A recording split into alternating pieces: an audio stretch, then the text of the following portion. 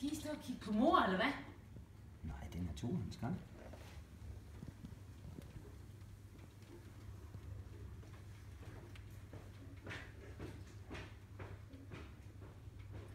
Kan du se solsorten over i kurven?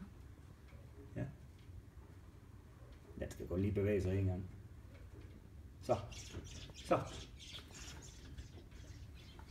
Fik den? Nej. Og i helvede, jo, den gjorde også på så. Hold nu kæft. Det er vildt. Er det ude nu? Ja. Prøv at se fjeren. Det... Ej, det Flyver er... rundt over det hele. Ej, det er ulækkert. Jeg sidder og filmer det her. Føj. Bliv nu ved. Ej, hvor er det synd. Prøv at sådan en biver. Ej, det er det ikke. Ej, hold lige kamera. Det kan ikke holde det ud.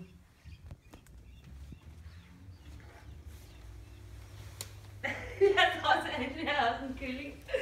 Det kan jeg heller ikke. Så kan det være nok så meget naturens gang.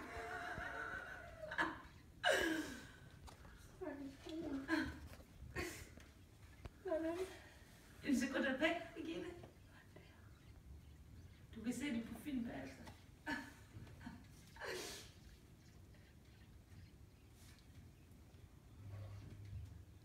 Prøv at se fjeren. De flyver helt op ad. Jeg, har, jeg har faktisk, øh, jeg har faktisk lige læst en bog, jeg ved anden del i, der er tre.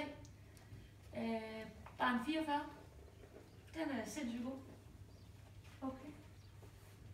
Øh, den foregår i Rusland i efterkrigsåret. Der er faktisk lavet om det. Hvem har skrevet den? Tom Schmidt, tror jeg han hedder. Den er rigtig, rigtig, rigtig god. Nu er jeg i gang med nummer to. Hvad skal du med? Den bliver på mobil. Mm. Nå ja. Så jeg har den jo ikke øh, som bog som sådan. Men den er filmatiseret, den første del, og det, faktisk, det var faktisk fordi, at, øh, at jeg var med min søster, og så så vi filmen. Og så, øh, det var lige på til min film. Og hende, øh, øh, hende der spillede kvinder, øh, mænd, der- nej, kvinder, der hedder- mænd, der hedder det. Ja, der spiller den rolle, hun er med også. Okay. hovedroller. Og ham, der spiller Assad i øh, Mørks film også, er med også. Det er en cool fugl, men den, den spiser den anden den død. Sådan. Men øh, så så jeg filmen, og så da jeg så, så kom hjem dernede fra, så ville jeg... Øh, jeg har så hørt med på det, for jeg har hørt det først. Så kommer jeg hjem, og så siger de, hvordan film skal man se? Fordi det, det er form, hvordan de forhold, hvor elendige forhold, de har dernede. Men så handler det samtidig om en seriemord, som de... Og der er jo ikke mål i Nordsjælland. Det er alt, hvad der er mål, det skøjter man jo hen over, det vil man jo ikke have med. Så ham her, der stikker sig ud af en for dem undersøger de her mål, som hedder Leo, som en af dem, der er er, han har jo været ret højt på strå, og det var jo uset, at han begynder at forske sig ned. Så, så den der kamp, hvor han flygter med skolen og systemet og alt det her.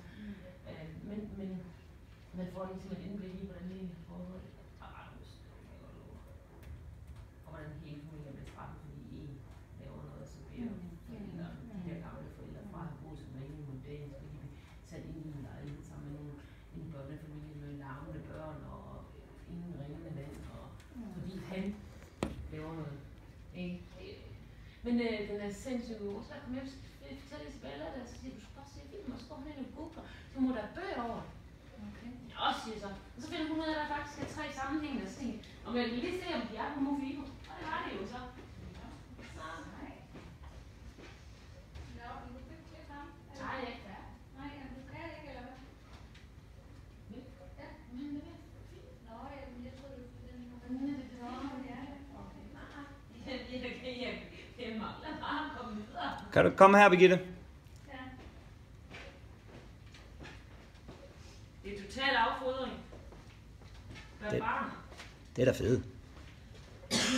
Kan du ikke lige tage den og så overtage? Du er nødt til at sende den til René Nielsen. Ja, det er jeg nødt til. Ja. Jo... Har du? Jeg skal kun hjem og gøre det. Åh oh, ja. Ja.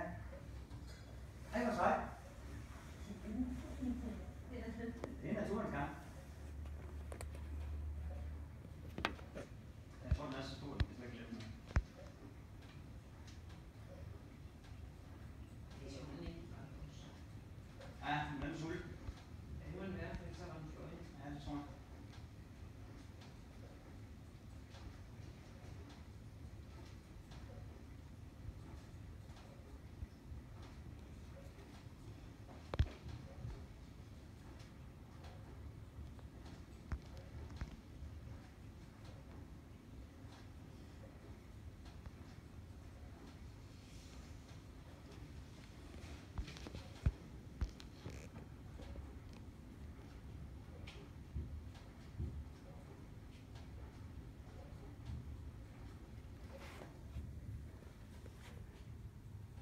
Så er den væk.